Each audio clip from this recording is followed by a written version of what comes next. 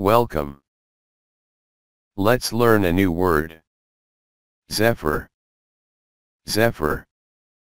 Zephyr. Zephyr. Zephyr. That was great.